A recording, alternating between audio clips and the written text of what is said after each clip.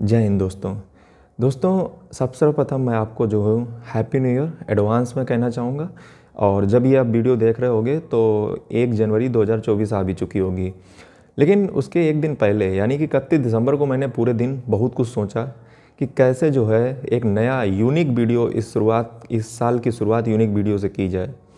तो जब मैं बहुत सोचता हूँ तो मैं पाता हूँ कि चूँकि मैं एक टीचर भी हूँ प्रोफेशन से लेकिन पर्सनली मैं एक स्टूडेंट ही हूँ और स्टूडेंट ही रहना चाहूँगा और मुझे अच्छा लगता है कि स्टूडेंट रहना। मैंने अपनी स्टूडेंट लाइफ में कई सारी गलतियाँ की हैं। आपने भी की होंगी, या हो सकता है आप स्टूडेंट ही हो, या हो सकता है आप बच्चे हो, बूढ़े हो, जवान हो, जो भी हो।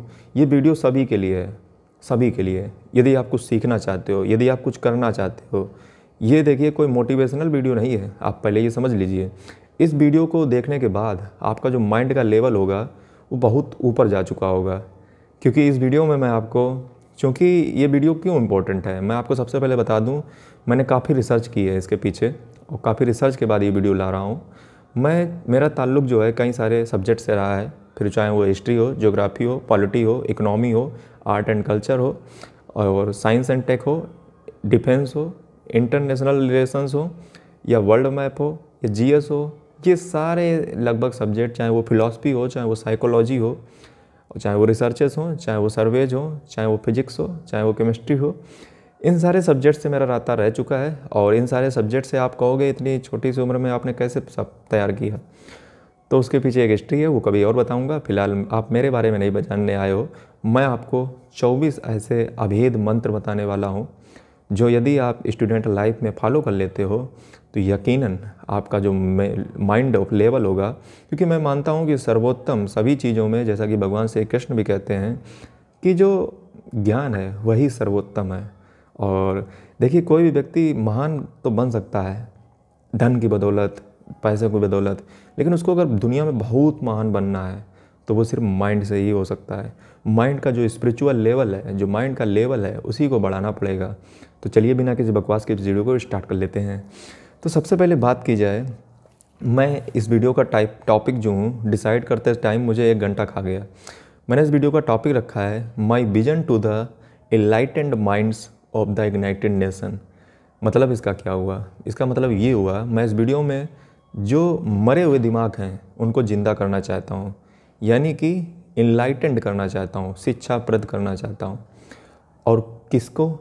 इस देश के इग्नाइटेड जो देश ये दिन भर जलता है, जो देश प्रज्वलित है, इस ज्योति को जो हूँ, ताकि जलती रहे कंटिन्यू इसके लिए ज़रूरी है इस देश के माइंड को ज़िंदा किया जाए। जैसे कि हमारे कलाम सर से भी किसी ने पूछा था, जैसे आप मेरे पीछे भी देखना चाहोगे तो आप देख भी सकते हो आपने कलाम सर से एक बार पूछा था कि हमारे देश का सबसे बड़ी ताकत क्या है? तो उन्होंने कहा था कि हमारे देश की सबसे बड़ी ताकत है युवा यूथ बट अगर ये यूथ के पास अगर एक विजन नहीं है, अगर कोई एक लक्ष्य नहीं है तो ये युवा बेकार है। ये हमारी सबसे देश की बड़ी कमज़ोरी होगी अगर इस देश के युवा के युवा के पास विजन नहीं होगा। ये तो थे कलाम साहब के शब्द।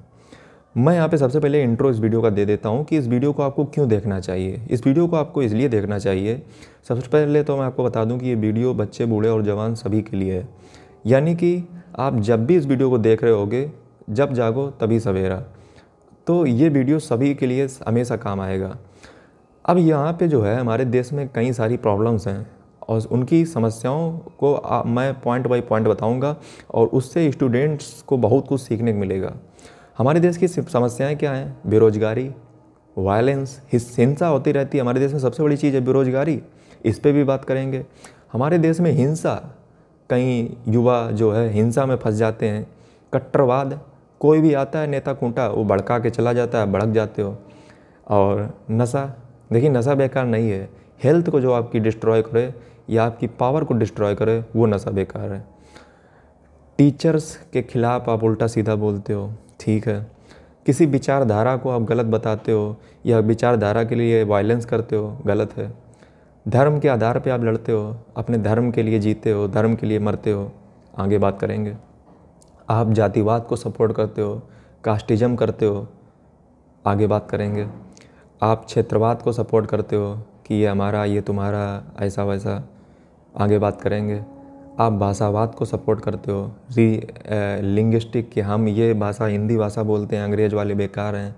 या आप अंग्रेज़ बोलते हो तो हिंदी वाले बेकार हैं। मराठी, बंगाली, गुजराती, बंगाली उड़िया, तमिल, तेलुगु, मलयालम, कन्नड़, जो भी भाषा आप बोलते हो, उस पर आपको प्राउड है। अच्छी बात है। इन सभी मुद्दों पे जो है, हमारा युवा अक्सर घिरा रहता है। वो मुद्दे हैं, बेरोजगारी, हिंसा, कट्टरवाद, भड़काना, नशा टीचर्स विराज, विचारधारा, धर्म, जातिवाद, क्षेत्रवाद, भाषावाद। इतने सारे मुद्दे हैं हमारे देश में और जिन पर युवा हमारा जो है आए दिन फंसा रहता है। क्या युवा ऐसा होना चाहिए? मैं आपसे सवाल पूछता हूँ। तो चलिए इस वीडियो को पॉइंट बाई पॉइंट स्टार्ट कर लेते हैं। सबसे पहले बात करते हैं नंबर एक पॉइंट की, जिसका मतलब है कि एजुकेशन ज़रूरी ही क्यों है? क्यों एजुकेशन, हर व्यक्ति को एजुकेटेड होना चाहिए? और एजुकेशन और धर्म क्या साथी में है? तो मेरा ऐसा मानना है हाँ दरअसल जो धर्म के जो पंडित होते हैं, जो प्राचार्य होते हैं, जो आचार्य होते हैं, जो कथाकार होते हैं, जो धार्मिक बातें करते हैं, यदि उनकी हम धार्मिक बातों को बाहर निकाल दें, यदि उनकी धर्म की कट्टरता यानी धर्म का प्रचार को बाहर निकाल दें, देखिए धर्म का सबसे पहले तो आपको मतलब समझना पड़ेगा कि धर्म का मतलब ये बिल्कुल नहीं होता है हिंदू मुस्लिम सिख ईसाई धर्म सबके लिए अलग अलग होता है सबका धर्म अलग अलग है, टीचर का धर्म है पढ़ाना, बच्चों का धर्म है पढ़ना। धर्म व्यक्ति व्यक्ति पर निर्भर करता है। धर्म का मतलब है कुछ ऐसे कोड कोड ऑफ़ कंडक्ट जो हर किसी को फॉलो करने चाहिए। यानी कि एक अच्छी लाइफ कैसे जी जाए, यही हमारा धर्म सिखाता है। ये जो धर्म की डेफिनेशन हमारे पंडिताचार्य करते हैं ना, और जो ये जो मौलवी, मौलाना ये सब करते हैं ना, इनकी डेफिनेशंस वो बिल्कुल संकीर्ण हैं, नैरो हैं। हमें अपनी डिफिनीसन बदलने की ज़रूरत नहीं है। हमारी डिफिनीसन क्या है कि कुछ कोड ऑफ़ कंडक्ट जो एकदम हेल्दी हो, जो आपको जीना सिखाएँ, जो आपको जीने की शिक्षा दें, जो आपकी लाइफ को जो है मेंटली स्पिरिचुअल अपलिफ्टमेंट करें, वही धर्म है। और यही हर एक कथाकार जो एक अच्छा पंडित होता है, वो करता है। यानी कि आप एजुकेशन ज़रूरी नहीं टीचर से ही लो, ज़रूरी नहीं आप किताबों से ही ली जाए, ज़रूरी नहीं कि आप जो है किसी व्यक्ति विशेष से ही लें। वो किसी से भी मिल सकती है। एजुकेशन का सोर्स कुछ भी हो सकता है। मैं मैं बहुत वाइड डिफिनेशन बता रहा हूँ। एजुकेशन कहीं से भी मिल सकती है। अगर धर्म का व्यक्ति अगर को आपको डेली जो है कथा सुनाता है, उससे आपका मेंटल अपलिफ्टमेंट करता है तो वो भी ठीक है। अब बात आती है कि एजुकेशन से क्या हो सकता है। तो यहाँ पे मैं आपको बहुत बेसिक बात बताना चाहूँगा कि धर्म एजुकेशन यानी कि शिक्षा पा करके ज्ञान प्राप्त करके इस देश में लोग भगवान बन गए हैं। महात्मा बुद्ध, महावीर स्वामी और आप एक जाप के चक्कर में पड़े हुए हो, यानी कि एक नौकरी के चक्कर में पड़े हुए हो। इस देश में लोग भगवान बन चुके हैं, सिर्फ़ एजुकेशन की बदौलत, यानी कि एजुकेशन कितनी पावरफुल है। जी हाँ आप स्टूडेंट होंगे, यदि इस वीडियो को देख रहे होंगे, आप नहीं समझ पा रहे होंगे इसकी ताकत को। आप ज़रा सोच के देखिए, जब कोई सी व्यक्ति के पास बहुत ज़्यादा एजुकेशन होती है, बहुत ज़्यादा पढ़ा लिखा होता है, उसका माइंड का लेवल ही कुछ अलग होता है। एक व्यक्ति को दूसरे व्यक्ति से अगर कोई अलग करता है तो वो माइंड मेंटल लेवल है। यानी कि लेवल ऑफ़ माइंड जो व्यक्ति कम सोच सकता है, वो कम उसका मेंटल लेवल है। जो ज़्यादा सोच सकता है, बड़ा सोच सकता है, उसका मेंटल लेवल ज़्यादा है। जो, जिसका दिमाग बहुत फास्ट चलता है, उसका मेंटल लेवल ज़्यादा है। यानी कि एजुकेशन से व्यक्ति जॉब तो छोड़ो, भगवान बन सकता है। जी हाँ।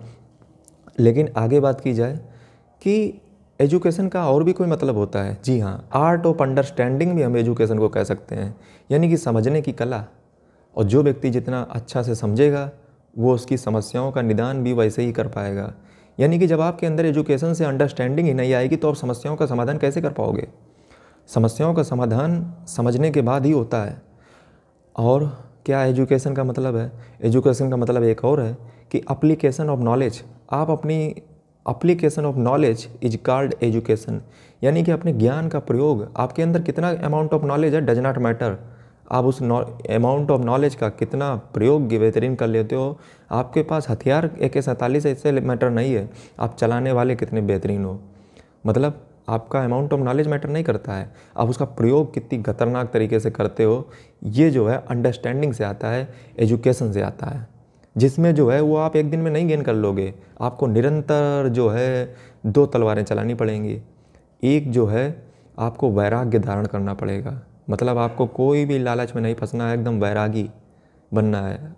देखिए, मेरे जो है गुरु जी कहा करते थे कि विद्यार्थी जीवन तपस्या का जीवन होता है। और जब तक आप बैरागी नहीं बनोगे, एजुकेशन आप गेन ही नहीं कर सकते हो। और दूसरा है निरंतर प्रयास कंटिन्यू एक्सरसाइज यदि आप प्रयास करना बंद कर दोगे, वैरागी नहीं रहोगे तो आप एजुकेशन गेन नहीं कर सकते हो। विद्यार्थी जीवन, तपस्या का जीवन है। तीसरी बात, क्या पढ़ा जाए और कितना पढ़ा जाए? बड़ा भयंकर प्रश्न है कि कई बार क्या होता है, बच्चों को पैसों की ज़रूरत पड़ती है तो उन्हें नौकरी भी करनी पड़ती है। आए, मैं जो हूँ, आपको मना नहीं कर रहा हूँ नौकरी करने से। आप जो है, कि सबसे पहले एक एक एक क्वेश्चन को लेता हूँ, क्या पढ़ा जाए? अभी मेरा टॉपिक वन ही चल रहा है एजुकेशन क्यों करनी चाहिए? क्या पढ़ा जाए? तो देखिए, जिसमें भी आपको अच्छा लगता हो, जो भी सब्जेक्ट आपको अच्छा लगता हो, जिस भी सब्जेक्ट में आपको मास्टर बनना हो, जिस भी सब्जेक्ट के आपको धुरंधर बनना हो, अब ये आप कैसे डिसाइड करोगे कि आप किस सब्जेक्ट में आपका मन लगता है, किस सब्जेक्ट के आप धुरंधर बनना चाहते हो, यानी कि आपका एप्टीट्यूड क्या है?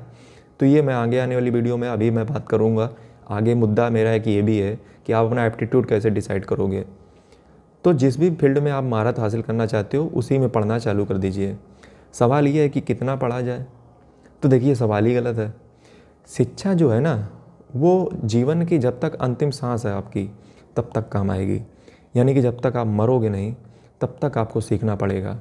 और यदि आप नहीं सीखना चाहते हो तो जो है, आप अपनी हेल्दी लाइफ इन्जॉय कीजिए, आराम से सीखिए।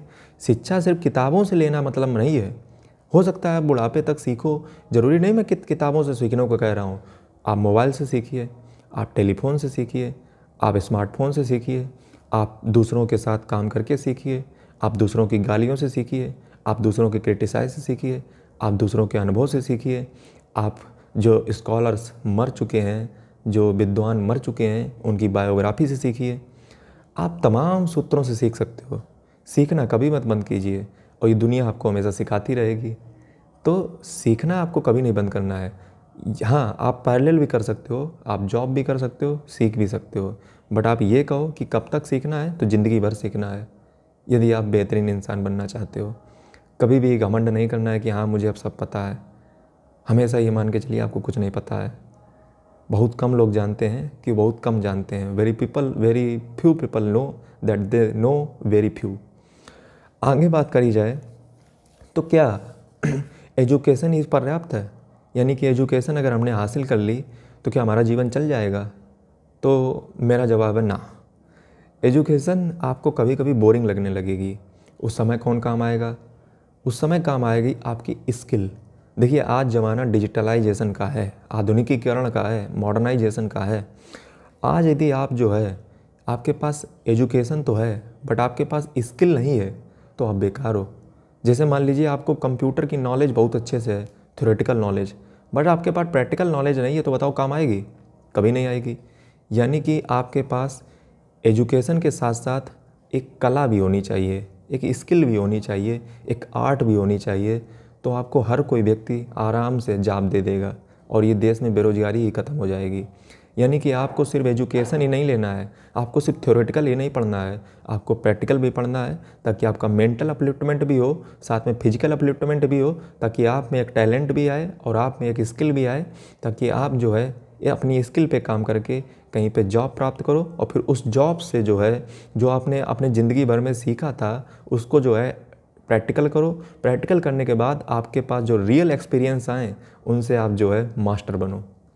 क्या बात है?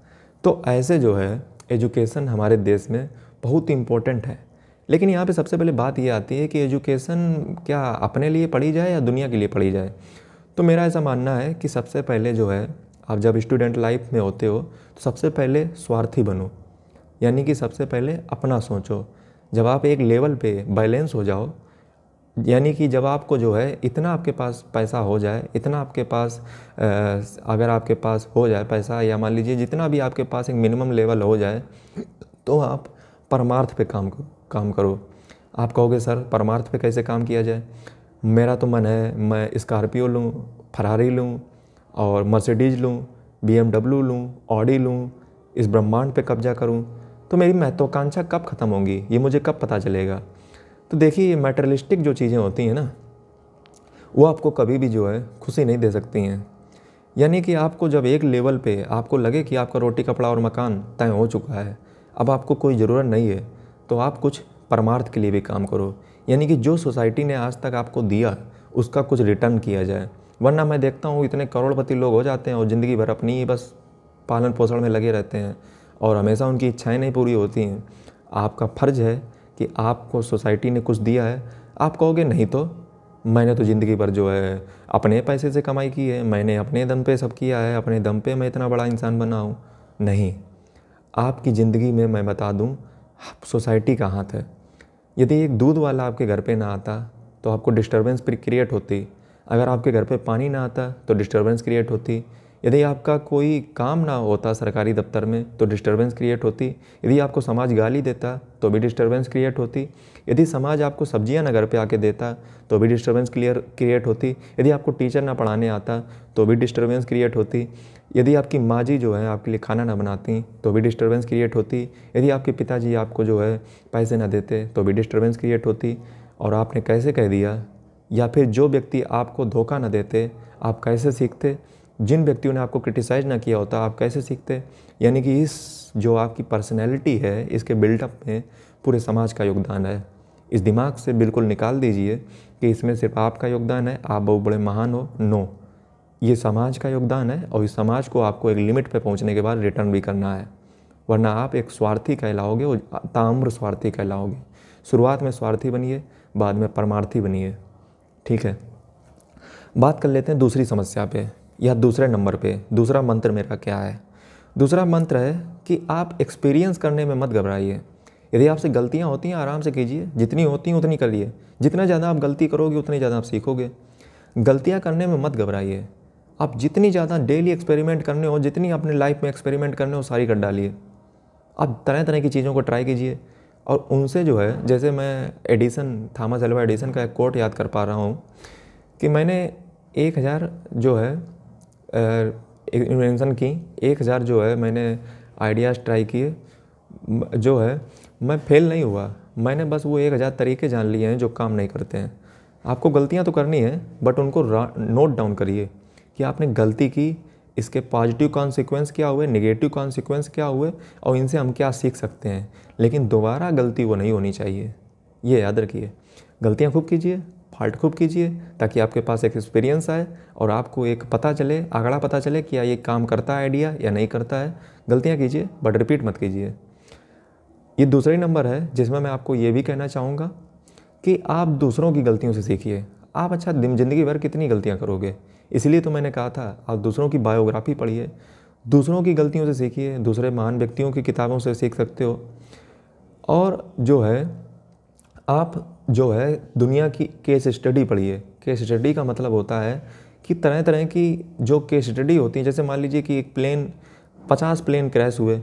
अगर आप उन पचास प्लेन क्रैश की अगर पूरी केस स्टडी पढ़ोगे तो आपको पता चलेगा उसके पीछे उनकी क्या गलतियाँ थीं, क्या उनके पीछे जो है कॉन्सिक्वेंस थे, क्या उनके पीछे प्रॉज एंड कॉन्स थे, जिसके कारण जो है वो प्लेन क्रैश किया। यानी कि आपने दूसरों की चीज़ों से जो है, आपने उसका क्रक्स जो है एक्सट्रैक्ट कर लिया। और आपने जो है उस केस स्टडी से कुछ सीख लिया। ऐसे जो है आप दूसरों की केस स्टडी से कुछ अपने लिए सीख सकते हो, क्योंकि आप जब तक जो है फॉल्ट करोगे मिस्टेक्स करोगे एक्सपीरियंस करोगे, तब तक आपकी जो है बुढ़ोती आ चुकी होगी। इसलिए सबसे अच्छा क्या है, दूसरों की गलतियों से केस स्टडी से सीखिए, जो हार्वर्ड और कैम्ब्रिज यूनिवर्सिटियों में की जाती है। और इन्हीं गलतियाँ करते समय आपको जो है अपना एप्टीट्यूड भी पता करना है। आप जब ये गलतियाँ बार बार करोगे, आपको पता चलेगा कि आपको कौन सा काम अच्छा लगता था। तो ये एक भी एक तरीका है, जिससे आप अपना एप्टीट्यूड पता कर सकते हो। तीसरी चीज़ की अगर बात की जाए तो तीसरी चीज़ है कि आप अपना एप्टीट्यूड कैसे पता करें? यानी कि आपको क्या अच्छा लगता है, या आप कैसे पता करें? ये देखिए, एक स्टूडेंट मैं देखता हूँ कि वो हाई स्कूल इंटर में पहुँच जाते हैं या बड़े बड़े हो जाते हैं बूढ़े बूढ़े उन्हें यही नहीं पता रहता कि मुझे करना क्या है। तो देखिए, ये बहुत विचित्र सब्जेक्ट है कि आपको कैसे पता किया जाए कि आप जो है क्या करना चाहते हो, आपको क्या पसंद है। बहुत जो है, ये बहुत ही जो है डिफ़िकल्ट टास्क है कि स्टूडेंट के लिए। कई बार स्टूडेंट देखता क्या है कि सामने का किसी व्यक्ति को देख लिया आई एस या मान लीजिए कोई डॉक्टर इंजीनियर या जेई नीट व्यक्तियों के जो है आजकल स्टेटस भी वायरल होने लगे हैं।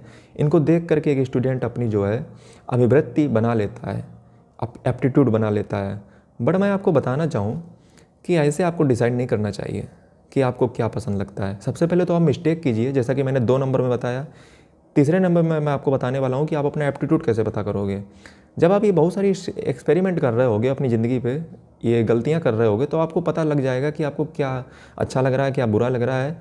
ये आपका माइंड खुद ना खुद कुछ बताएगा। और जब आपको पता चल जाए कि आपको क्या पसंद है तो देखिए सबसे पहले जो है एप्टीट्यूड तो आपने पता कर लिया अपने आप से ये पूछिए कि आप दुनिया में कुछ बड़ा करना चाहते हो या छोटे में ही खुश हो। जैसे इस दुनिया में दो प्रकार के लोग होते हैं।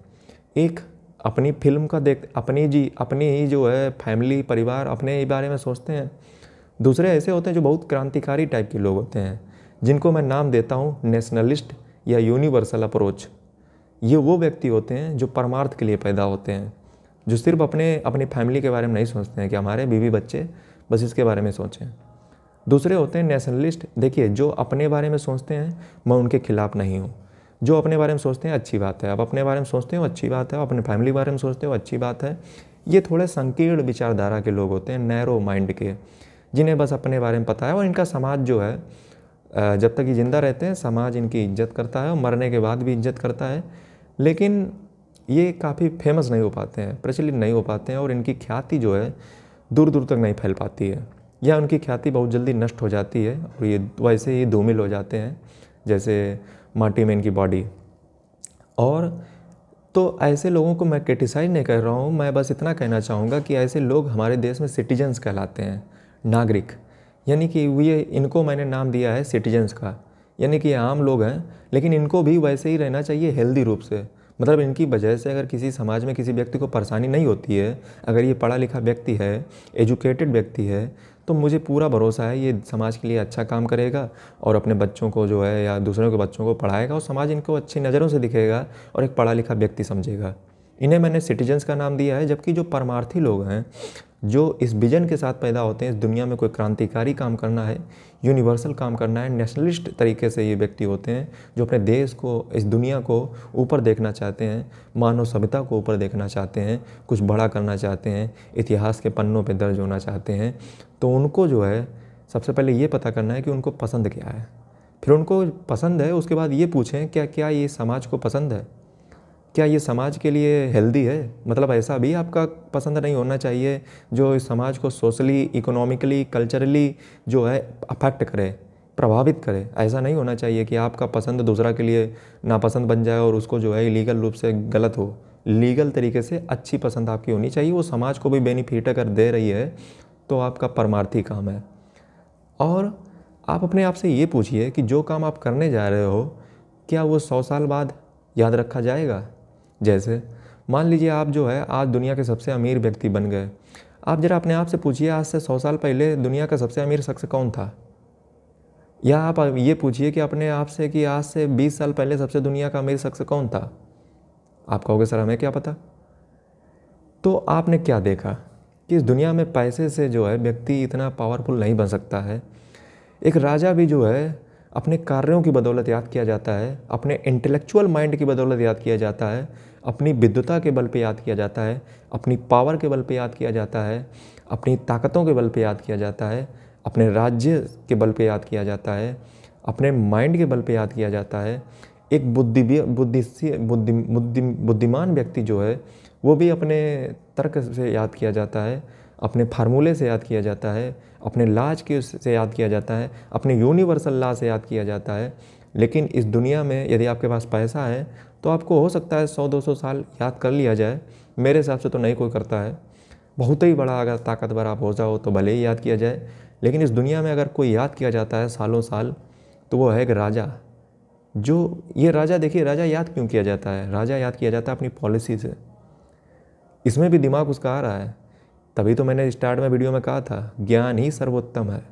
और आपके पास अगर इंटेलेक्चुअल प्रॉपर्टी है, आप कहोगे, सर एग्ज़ाम्पल दो। थॉमस एल्वा एडिसन का नाम सुने होगे? और निकोला टेस्ला का नाम सुने होगे? सर आइजक न्यूटन का नाम सुने होगे? ये सारे लोगों को क्यों याद किया जाता है? आज 400 साल पहले आए थे न्यूटन, बट उनका नाम तो आज किताबों में वैसा ही अमीर है अमर है, जैसा उनकी प्रिंसिपिया में था। तो क्यों इनको याद किया जा रहा है? इनका माइंड के कारण। यानी कि आपको यदि दुनिया में बहुत ही ज़्यादा फ़ेमस होना है, और देखिए, हमेशा याद रखिए, जो अपने लिए सोचते हैं, उनको समाज भूल जाता है। जो स्टूडेंट दूसरों के लिए सोचते हैं, जो कुछ समाज के लिए करना चाहते हैं, जो अपने देश के लिए करना चाहते हैं, उनको सदैव याद किया जाता है। और इस दुनिया में सर्वोत्तम ज्ञान ही है नॉलेज ही है, इसलिए एजुकेशन इम्पोर्टेंट थी। अच्छा अब मैं बात कर लेता हूँ कि अब मैं बात कर रहा हूँ अगले पॉइंट पे। अगला पॉइंट है, आप एक रेशनल व्यक्ति बनिए, तार्किक व्यक्ति। तार्किक व्यक्ति कौन व्यक्ति होता है? जो व्यक्ति डेटा के आधार पर बात करे एविडेंस के आधार पर बात करे प्रूफ के आधार पर बात करे सर्वे के आधार पर बात करे, यहाँ पे ध्यान बात ये रखनी है कि आपको तर्क के आधार पर बात करना है। एविडेंस के आधार पे सबूत होना चाहिए डाटा होना चाहिए, तब अपनी बात को बोलिए। यदि आप स्टूडेंट हो और आप ऐसे हवा हवाई बातें करते हो, किसी की सुनी सुनाई बातों में, बहकावे में आकर के बात बोलने लगते हो तो आप एक अच्छे स्टूडेंट नहीं हो। आपको हमेशा तर्क पे बात करनी है हवा हवाई बातें नहीं करनी है। तर्क अच्छा करो। और यदि किसी सामने वाले व्यक्ति का तर्क यदि अच्छा है और आपका तर्क बेकार है, आपका अगर जो है लॉजिक अगर आपका लॉजिक अगर सामने वाले के लॉजिक के सामने फीका है तो उसका लॉजिक को स्वीकार करना भी सीखो। ये एक स्टूडेंट की अच्छी पहचान होती है कि जहाँ पे आपको लगे कि सामने वाला व्यक्ति का आर्गूमेंट या लॉजिक आपसे बेहतर है तो उसको स्वीकार कीजिए। बिना झिझक स्वीकार कीजिए। अपने ईगो को साइड में रख दीजिए। ठीक है? और एक स्टूडेंट में बहुत ज़्यादा ये रहती है कि डेटा सर परसेंटेज परसेंटेज में जो है बिल्कुल एक्यूरेट क्या होना चाहिए? देखिए, हमेशा याद रखिए स्टूडेंट की सबसे बड़ी मूर्खता ये होती है कि वो हमेशा ये सोचता है, एकदम एक्यूरेट रटना है। एक्यूरेट नहीं पता रटना है। बस एक आंकड़ा रखा कीजिए मन में कि साठ परसेंट था, ठीक है, अगर तिरसठ है तो साठ कर लो। अरे एक्यूरेट नहीं रटना होता है। अगला पॉइंट मैं बात करता हूँ। अगला पॉइंट है जो सबसे ज़रूरी है आपको समझना कि इस दुनिया में जो है, कुछ भी सत्य नहीं है। जी हाँ। आप कहोगे, सर, सूरज तो पूरब से निकलता है। अरे यार, पूरा, अब तुम थोड़ा बुद्धि लगाओ। देखिए, इस दुनिया में कुछ भी सत्य नहीं है मेरी बात को समझ लो। मतलब आप कहोगे, सर मतलब आप ये वीडियो में बोल रहे हो, ये भी क्या सत्य है? हो सकता है। मेरा ये माइंड आप मान लीजिए कि इस दुनिया में कुछ भी सत्य नहीं है। सत्य कब होता है? जैसे लोग कहते हैं कि झूठ नहीं बोलना चाहिए। मैं कहता हूँ टाइम एंड नेचर पर डिपेंड करता है कि ट्रुथ क्या होगा। टाइम एंड नेचर प्रकृति क्या है और टाइम क्या है? उस पर डिपेंड करता है कि इस दुनिया में सत्य क्या है। यानी कि सुबह के समय सत्य है कि सूरज पूरब से निकलता है। दोपहर में सत्य है कि सूरज ऊपर रहेगा। यानी कि टाइम एंड नेचर पे डिपेंड करता है कि इस दुनिया में ट्रुथ क्या है और इस दुनिया में ट्रुथ कुछ भी नहीं है। Nothing is true in this world और हम क्या समझते हैं कि don't angry on mine section under and age other situation हम क्या सोचते हैं कि अगर कोई व्यक्ति अगर कोई काम कर रहा है, जैसे मान लीजिए कोई व्यक्ति अगर चोरी कर रहा है तो हम सोचते हैं कि वो व्यक्ति चोरी कर रहा है। या मान लीजिए, देखिए, मैं आपको एग्ज़ाम्पल लेकर दिखा रहा हूँ कि जैसे मान लीजिए आपके सामने कोई व्यक्ति, आपके सामने कोई व्यक्ति आया और किसी व्यक्ति को गोली मारकर भाग गया। आपने देख लिया, आपने कहा, सर, ये तो सत्य है। और इसमें आप कैसे जो है मना कर सकते हो कि सत्य नहीं है? तो मैं आपको कहना चाहूँगा कि जो आपको दिखता है, वो होता नहीं, जो होता है वो दिखता नहीं। जैसे जैसे इसका मतलब ये है कि जिस व्यक्ति ने गोली मारी थी, हो सकता है कोई व्यक्ति साइड से कह रहा हो कि अगर तुमने गोली ना मारी तो हम तुम्हारे गोली मार देंगे। इससे आप क्या समझे कि इस दुनिया में कुछ भी सत्य नहीं है और इस बात को जितनी जल्दी आप समझ जाओगे, उतना ही आपके लिए बेहतर होगा। यानी कि थोड़ा प्लूरिस्टिक अप्रोच लाइए। समझिए अपने माइंड में कि इस दुनिया में जो दिखता है, उसके पीछे समझने की कोशिश कीजिए। आपको जो दिख रहा है, उसके पीछे क्या इंटेंशन है, क्या माइंड और सेट काम कर रहा है, उसको समझने की कोशिश कीजिए। हमेशा जो हमें दिखे वो सत्य हो, ऐसा ज़रूरी नहीं है। सत्य डिपेंड करता है टाइम एंड नेचर पे। ये बहुत बड़ी चीज़ है, मैं जो आपको बता रहा हूँ। दिमाग में डालिए, इस पर विचार कीजिए, इन पॉइंट को नोट करते जाइए। नेक्स्ट चीज़ मैंने आपको बताना है कि सीरियस मत बनिए सिंसियर बनिए। मतलब देखिए, दुनिया जो है ना, वो दुखों से भरी हुई है। अब दुनिया जब दुखों से भरी हुई है, ये महात्मा बुद्ध ने कहा था कि world is full of sorrow और हम लोग हम लोग हमेशा किस चक्कर में रहते हैं कि कभी हमें सुख मिल जाए, कभी हम गवर्नमेंट जॉब में सुख ढूंढते हैं, कभी हम किसी चीज़ में सुख ढूंढते हैं, कभी कहीं सुख ढूंढते हैं, कभी किताबों में सुख ढूंढते हैं, कभी कंप्यूटर पे सुख ढूंढते हैं, कभी मोबाइल में सुख ढूंढते हैं, कभी रील में सुख ढूंढते हैं, कभी स्टेटस में सुख ढूंढते हैं। ये देखिए कहीं नहीं है। इस दुनिया जो है ना, वो सुख, दुखों से भरी हुई है।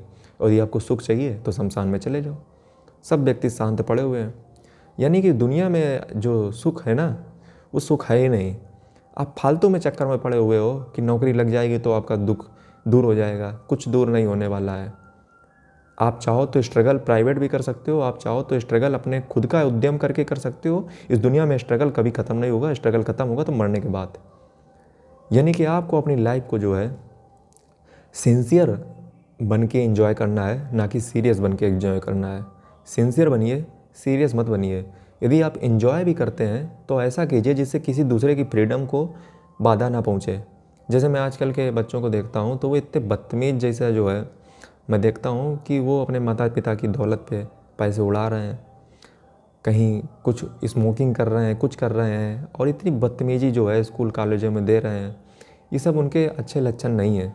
एक अच्छा स्टूडेंट हमेशा सीरियस रहता है, और अगर वो मौज मस्ती करता भी है तो उससे किसी दूसरे की फ्रीडम अफेक्ट नहीं होती है और वो एक तरीके से हेल्दी कॉमेडी करता है। हेल्दी तरीके से जो है अपनी लाइफ को एंजॉय करता है। एक हेल्दी भी होता है इन्जॉय करना, एक अनहेल्दी भी होता है जो किसी दूसरे को अफेक्ट करे, समाज में गलत मैसेज स्प्रेड करे, ये अनहेल्दी होता है। समझे?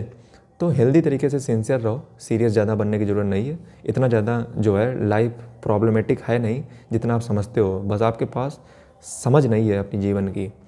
दूसरा चीज़ कि अगला नंबर जो है, मैं नंबर अब काउंट नहीं कर रहा हूँ क्योंकि मैं बोल चुका हूँ, मैं बस नंबर अगला अगला बोलता रहूँगा। अगला नंबर है don't trust on any one ये देखिए, दुनिया की सबसे बड़ी गलती है जो अक्सर स्टूडेंट करते हैं। ये दुनिया का सबसे बड़ा फार्मूला है, मैं आपको बता दूँ। हम लोग क्या करते हैं, पूरी ज़िंदगी में जो है, दुनिया पर ट्रस्ट करते हैं। कभी माता पिता पर ट्रस्ट करते हैं कभी भाई पे ट्रस्ट करते हैं, कभी बहन पे ट्रस्ट करते हैं, कभी दोस्त पे ट्रस्ट करते हैं, कभी गुरु जी पे ट्रस्ट करते हैं, कभी टीचर पे ट्रस्ट करते हैं, हर व्यक्ति पे ट्रस्ट करते हैं। इवन आप मेरा वीडियो भी देख रहे होगे, मुझ पर भी ट्रस्ट मत करो।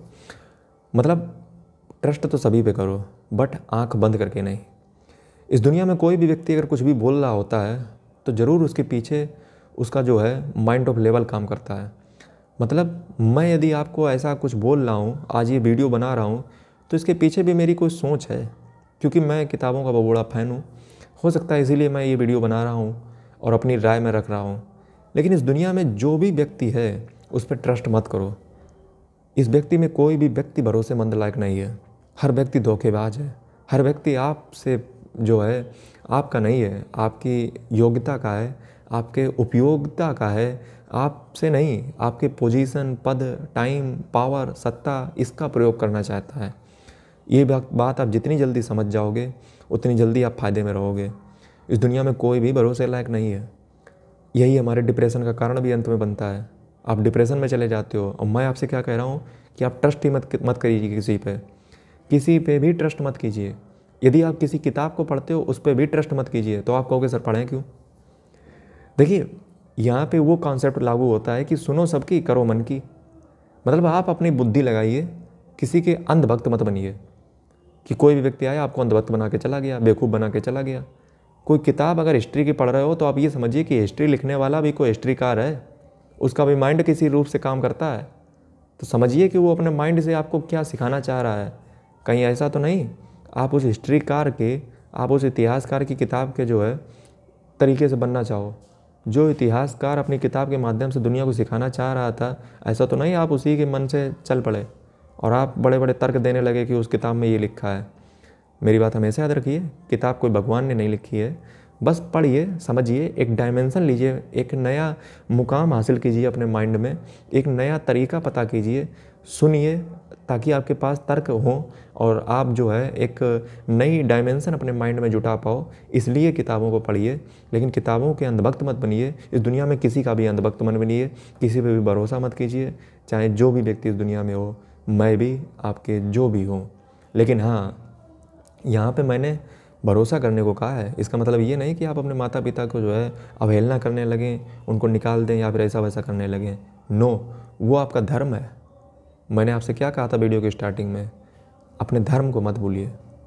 समझे? आप एक स्टूडेंट हैं, साथ में जो है एक माता पिता के पुत्र भी या पुत्री भी हैं तो उसका भी फॉलो कीजिए। ये आपका धर्म है, धर्म को नहीं भूलना है। समझे? आगे बात किया जाए, लेकिन ट्रस्ट किसी पे मत कीजिए। आगे का पॉइंट है, पाप से दृढ़ा करो, पापी से नहीं। क्या लाइन है? मतलब आप किसी के विचारों से अगर सहमत नहीं है तो आप उसके विचारों से नफरत कीजिए। मैं तो कहता हूँ, नफरत ही मत कीजिए। इग्नोर कर दीजिए उसको।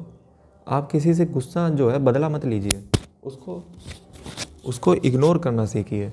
हम लोग क्या होते हैं, सस्ते जो है, सस्ते आंकड़े में जो है, हम बदला लेने चले जाते हैं। आपको बदला दला नहीं लेना है इग्नोर कर देना है। आपको किसी के विचार अच्छे नहीं लगते हैं तो उसको विचारों से काटिए ना। आप उसको मारने पे क्यों उतल आते हो? जैसे मान लीजिए आपको मेरे विचार अच्छे नहीं लग रहे तो इसका मतलब ये थोड़ी ना कि आप मुझे गोली मार दोगे। या महात्मा गांधी के विचार नाथूराम गोडसे को अच्छे नहीं लग रहे तो ये थोड़ी ना गोडसे उसको महात्मा गांधी को गोली मार देंगे। आप विचारों से सहमत नहीं है तो विचारों को काटने की क्षमता रखिए ना। अपनी दिमाग से विचारों को मेरे काटिए। आप मेरे तर्क को काटिए। यदि आपके पास औकात नहीं है तो आप मारने पे आ जाते हो। ये आपके पास स्टूडेंट के अंदर ताकत होनी चाहिए कि किसी के विचारों को विचारों से ही काटिए। विचार कभी नहीं मरते, धर्म कभी नहीं मरता, ये हमेशा याद रखिए। आप भले ही मर जाओ बट हम जो है, हम हमेशा विचारों से लड़ना चाहिए। हमें व्यक्ति के मेन माइंड को परिवर्तन करने का क्षमता रखना चाहिए, ना कि हमें उस व्यक्ति को ही मार देना चाहिए।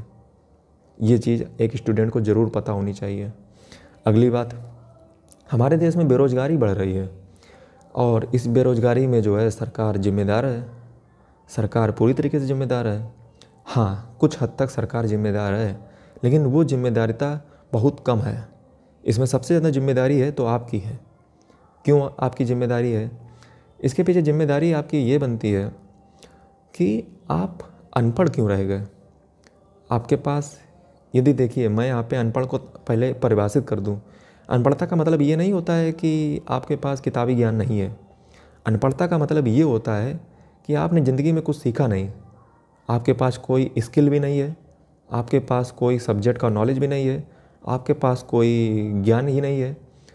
आप जो है एक व्यर्थ की व्यक्ति हैं जिनको जो है किसी भी टॉपिक, किसी भी एक्सपर्टीज, किसी भी फ़ील्ड की एक्सपर्टीज ही नहीं है। मतलब अपनी ज़िंदगी को बर्बाद करते ही चले आए। इस कारण से आपको कोई जॉब भी नहीं देता है। इस देश में जॉब लेने वालों की कोई कमी नहीं है। जॉब आज भी इस देश में उतनी ही है जितनी कल थी। हाँ कंपटीशन बढ़ा है। तो कंपटीशन बढ़ा है तो उसका आप अपना लेवल बढ़ाइए ना। मैं आपसे क्या कहता हूँ? ज़िंदगी भर सीखना है। ये लेवल ही तो बढ़ाना है। यदि आप समय के साथ अपने आप को परिवर्तित नहीं करोगे तो समय आपको परिवर्तित कर देगा। पुराने ठर्रों पे नहीं चलना है। दुनिया बदलती है तो अपने आप को भी बदलना है। और इस दुनिया में बेरोज़गारी नहीं है। आप क्यों सोचते हो? आप हमेशा भीख मांगने की तुलना में क्यों रहते हो? कि हम गवर्नमेंट से मांगेंगे सरकारी जॉब क्यों मांगोगे? भिखारी हो क्या? तो आपको जो है, अब बेरोज़गारी का परिणाम क्या होता है? बेरोज़गारी का परिणाम होता है कि स्टूडेंट अक्सर जो है, जब देखिए आपके पास नॉलेज ज्ञान, शिक्षा नहीं होती है तो आप आसानी से किसी के भी बहकावे में आ जाते हो, हिंसा करने लगते हो लूट, चोरी, डकैती ये सब करने लगते हो क्योंकि आपके पास इस दुनिया की सबसे ज़्यादा समस्याओं का जन्मदाता है पैसा। जब व्यक्ति के पास पैसा नहीं होता है तो किसी भी क्राइम को करने में सक्रिय हो जाता है। फिर मैं यहाँ पे आपको कहना चाहूँगा कि जो व्यक्ति क्राइम कर रहा है, उसके पीछे की इंटेंशन समझिए। वो पैसे की इंटेंशन है, उसके पास पैसा नहीं है। यानी कि आप अगर बेरोजगार हो तो आप अपना उद्यम भी स्टार्ट कर सकते हो। अब आप कहोगे, सर, हमारे पास पैसा नहीं है। अरे तो सरकार देती है ना। यदि नहीं देती है तो कोई, हर कोई अंबानी घर पे नहीं पैदा होता है। हर कोई व्यक्ति ज़ीरो से ही काम करना स्टार्ट करता है। इस देश में कुछ जॉबें ऐसी भी हैं, जहाँ पे आपको कोई स्किल या टैलेंट या एजुकेशन या फ़ील्ड की ज़रूरत नहीं है। वो है लेबरी की जॉब या किसी और तरीके की जॉब। अब आप कहोगे सर मैं वो जॉब कैसे करूँ? मुझे तो शर्म आती है। तो भैया, शर्म तो तुम्हें तब आनी चाहिए जब तुम बचपन से आज तक निखट, निठल्ले चले आए। तब आपको शर्म नहीं आई। तब आपको, आपके माता पिता ने हज़ारों बार समझाया होगा, तब आपको शर्म नहीं आई। अब आज आपको शर्म आ रही है तो इसमें गलती आपकी है। अपने आप को योग्य बताइए आपको नौकरी झक मार के आएगी, गारंटी मैं देता हूँ। आगे बात की जाए, आगे बात मैं करता हूँ। ये अगला पॉइंट है जो मैं आपसे कहना चाहूँगा कि डोंट फारगेट कर्मा प्रिंसिपल। हमारे स्टूडेंट जो है, वो सोचते हैं कि हम जो करते हैं, उसका कुछ होगा नहीं। मैं हमेशा आपसे कहता हूँ, इस दुनिया में कर्म का सिद्धांत एक चलता है, जो श्रीमद् भगवद गीता में भगवान श्री कृष्ण ने दिया था। उन्होंने कहा था कि इस दुनिया में जो है, आप जो भी करोगे, यदि आप अच्छा करोगे तो आपको अच्छे फल मिलेंगे। आप बुरा करोगे, आपको बुरे फल मिलेंगे। कभी भी इस दुनिया में जो है, बुरा कर्म करने से पहले सौ बार सोच लेना कि आपको आज नहीं तो कल भुगतना ज़रूर पड़ेगा। हो सकता है आप आज बहुत ऊँचे पद पे पहुँच गए हो, लेकिन याद रखना मेरी बात को, यदि आपको एक दिन ऊपर पहुँचने में लगा तो आधा ही दिन गिराने में भी लगेगा उसको। इसलिए इस दुनिया में कुछ भी करने से पहले ये सोच लेना कि आपको भुगतना ही पड़ेगा। आप जो भी कर लो। अब आप कहोगे, सर, मुझे जो है, मैं इतनी मेहनत करता हूँ, लेकिन फिर भी सफल क्यों नहीं हो रहा हूँ? इसके पीछे कारण है आपके बुरे कर्म, जो आप पास्ट में कर चुके हो। जब आप अच्छे कर्म करते रहोगे, निरंतर पढ़ते रहोगे पढ़ते रहोगे तो आपके बुरे कर्म नीचे जाते रहेंगे जाते रहेंगे और आपके जो है, ज़ीरो हो जाएँगे। फिर आपका चालू हो जाएगा अच्छा टाइम ऐसे काम करता है कर्मा प्रिंसिपल हमेशा याद रखिए इस चीज़ को। अगला जो पॉइंट है, वो है नथिंग इज़ इम्पॉसिबल आप एक स्टूडेंट हो और आपके दिमाग में अगर ये आता है कि सर ये नहीं हो सकता, सर इतना वर्क एक दिन में नहीं हो सकता तो ये आपकी बहुत बड़ी गलती है। आपका माइंड एक बच्चा दिमाग है और आप जो है, एक बड़े माइंड के लेवल पे नहीं पहुँचे हो। यदि आपके पास वाकई में एजुकेशन है, आप वाकई में पढ़े लिखे हो तो आपके दिमाग में कभी भी लिमिट आनी ही नहीं चाहिए। आपका दिमाग बहुत विस्तृत होना चाहिए अनलिमिटेड होना चाहिए, किसी भी काम को दे दिया जाए, आप तुरंत संभालने के योग्य हो। एजुकेशन यही तो करती है। एजुकेशन किसी भी व्यक्ति को, अगर आप किसी भी पढ़े लिखे व्यक्ति को कोई भी वर्क दे दोगे, कोई भी काम दे दोगे, वो बहुत अच्छे से निभाएगा। इसलिए जो I S I P S I S व्यक्ति होते हैं, या सेक्रेटरी लेवल के व्यक्ति होते हैं, उनका ट्रांसफ़र किसी भी फ़ील्ड में कर दिया जाता है। वो जो है अच्छे से उस वर्क को निभा लेते हैं। क्यों? क्योंकि वो एक अच्छे पढ़े लिखे व्यक्ति हो चुके हैं शिक्षा विद व्यक्ति हो सक चुके हैं, उनको अब कोई भी काम दे दिया जाएगा, वो आसानी से कर लेंगे। लेकिन एक पढ़ा लिखा नहीं व्यक्ति जो होता है, उसके दिमाग में हमेशा यही आता है कि, सर, ऐसा नहीं हो पाएगा, वैसा नहीं हो पाएगा। ये सब फर्जी बातें हैं, बेकार बातें हैं।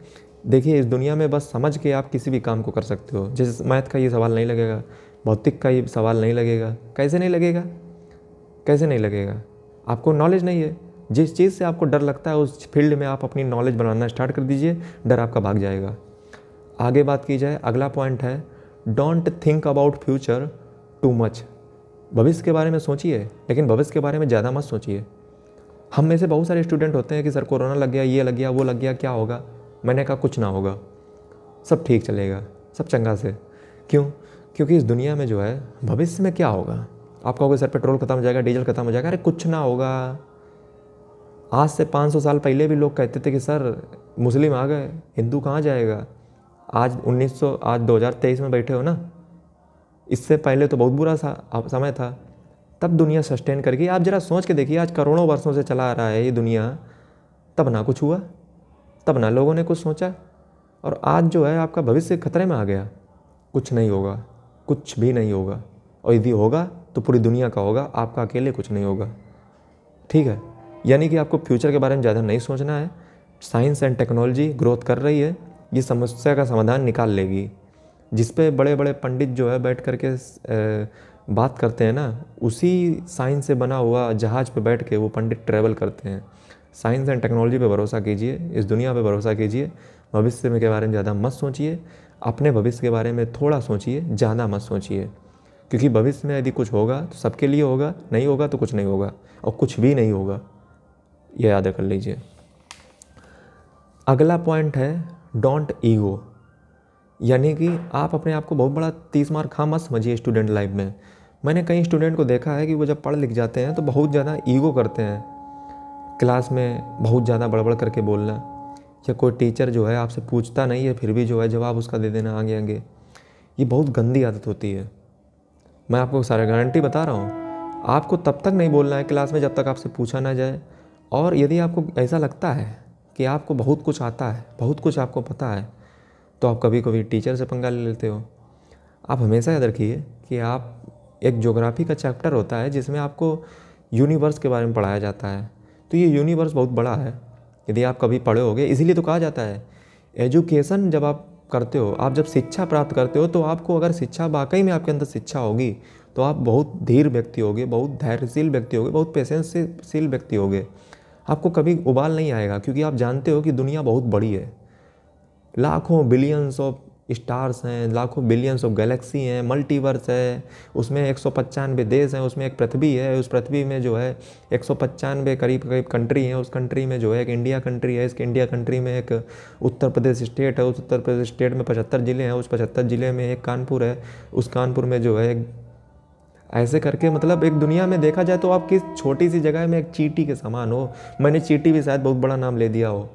अगर आप इस यूनिवर्स के बियॉन्ड खड़े होकर देखोगे तो ज़रा जब आप आपके पास वाकई में एजुकेशन होगी, वाकई में आपने हिस्ट्री जोग्राफी पॉलिटी इकोनॉमी पढ़ी होगी तो आप वाकई में एक धैर्यशील व्यक्ति होगे। आप अपने आप को बहुत बड़ा तोप नहीं समझोगे और ना ही समझना चाहिए। अगला नंबर। आप जो है, आपको कभी भी स्टूडेंट लाइफ में हो तो आपको मेटेरियलिस्टिक जो थिंग होती हैं, वो कभी भी खुशी नहीं ला सकती। हैं जैसे हर व्यक्ति सोचता है कि B M W Mercedes, Audi सब खरीद लूँ। ये चीज़ें आपको कभी खुशी नहीं दे सकती हैं। असली खुशी आपको तभी होगी जैसे बुद्धा जो थे, महात्मा बुद्ध कभी पढ़िएगा, उनको जब कोई नई चीज़ पता चलती थी या उनसे कोई बच्चा कुछ पूछता था तो वो मुस्कुरा देते थे, जिसको स्माइलिंग बुद्धा कहते हैं। क्यों मुस्कुरा देते थे? क्योंकि ये सब फालतू की चीज़ें जो हैं, आपको कभी खुशी नहीं दे सकती हैं। जैसे आप गाड़ी, बंगला, क्या सब यहीं पड़ा रहेगा। यदि वाकई में अगर आपको कोई खुशी मिलेगी तो ये किताबें ही दे सकती हैं जो मेरे पीछे लगी हुई हैं। इनको एक बार पढ़िए तो इन्हें समझिए तो आप देखिएगा, आप पाओगे कि कितना लाइफ बदल चुका है। आप जिन चीज़ों के लिए पहले मरे जाते थे, खिलौनों को लिए, आज तो नहीं मरते हो। आप जिस दोस्त के लिए मरे जाते थे, एक समय बाद उनके लिए भी नहीं मरोगे। ये दुनिया में सब कुछ चला जाएगा, सब कुछ छूट जाएगा, मैं गारंटी देता हूँ। सब कुछ छूट जाएगा। आप कभी भी मेटेरियलिस्टिक मत बनिए, इस समाज के प्रति, इस दुनिया के प्रति। समझे? हमेशा एक वैराग्य रहिए, निस्वार्थ भाव से सेवा कीजिए। जो है जो है आप करते रहिए। दूसरों की जो है, भलाई कीजिए और उसको जो है, दरिया में बाइए नेकी कर, दरिया में डाल। ये फार्मूला फॉलो कीजिए। इस समाज में जो है, लगे नहीं रहना है। वैराग्य तरीके से लगे रहना है। एक सन्यासी रहना है हमेशा। ये याद रखिए। और आपको जो ये दुनिया की संसारिक चीज़ें हैं, आपको खुशी नहीं दे सकती हैं। सिर्फ़ आपका मेंटलिक मेंटल अपलिफ्टमेंट ही आपको खुशी दे सकता है। अगला जो पॉइंट है, वो ये है कि इस दुनिया में आपका कोई भी नहीं है। वो टाइम एंड नेचर डिपेंड करता है कि आपका इस दुनिया में जो है, वो सब मतलब के होते हैं। इस दुनिया में आपका कोई नहीं है। अगला जो पॉइंट मैं आपको सिखाना चाहूँगा, इस दुनिया में जो है, पैसों की कीमत मत कीजिए, समय की कदर कीजिए। मैं आपको फिर बता रहा हूँ, पैसों की कीमत मत कीजिए। जैसे कुछ लोग क्या होते हैं कि पैसों की कीमत करते हैं। आप इसका एग्ज़ाम्पल ऐसे समझ लीजिए कि आप जो है आपको सैलरी मिलती है सौ रुपये आपकी, आप अपने हेल्थ पे निवेश कीजिए। जैसे कई लोग क्या होते हैं कि पैसों को बचा के रखते हैं। अरे भैया, जब हेल्थ ही नहीं रहेगी तो पैसों का क्या करोगे? यानी कि अपनी हेल्थ पे निवेश कीजिए। प्रथम सुख, निरोगी, काया। सबसे पहले अपनी हेल्थ पे निवेश कीजिए। पैसों को तवज्जो मत दीजिए, अपने समय को बचाइए। यदि समय बचा करके पैसे कुछ ज़्यादा चले जाएँ, कोई बात नहीं, लेकिन अपने समय को बचाइए। उस समय में कुछ यूटिलिटी उसका कीजिए, कुछ उसको उपयोग में ला लीजिए। समय को ज़्यादा इम्पोर्टेंस दीजिए, वरीयता दीजिए और पैसों को कम वरीयता दीजिए। यदि आपको जो है नॉलेज मिल रही है और पैसे मिल रहे हैं तो नॉलेज को ज़्यादा वरीयता दीजिए, पैसों को कम दीजिए। पैसों के पीछे ज़्यादा मत भागिए, पैसे उतने ही कमाइए, जिससे जो है आपकी, ज़्यादा जो है कष्ट नहीं अपने आप को देना है। आराम से रहिए हेल्दी रहिए कोई बहुत बड़ा जो है, तीस मार्क हाँ मत बनिए। पैसे जो है, उनको इम्पोर्टेंस उतनी मत दीजिए, जितनी जो है, अपने समय को दीजिए।